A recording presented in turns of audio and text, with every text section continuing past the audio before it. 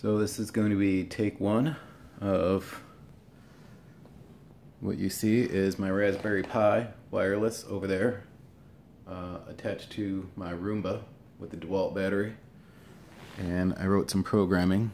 Um, I'm just using this as a terminal but I've actually got a wireless connection, uh, a virtual network client thing going on and this is a program I wrote uh, reading all the sensors right now all we're going to have it do uh, it should go for a certain amount of distance, a certain number of wheel revolutions, about two meters, uh, or until it hits a random object. Either one of those two conditions should stop it.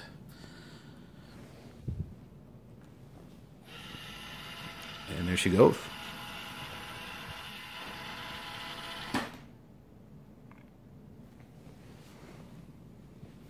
Got some results data from the encoders and the bump factor you see bumps three greater than one did stop it. I've got a bad sensor, so one bump is always enabled until I get a new encoder.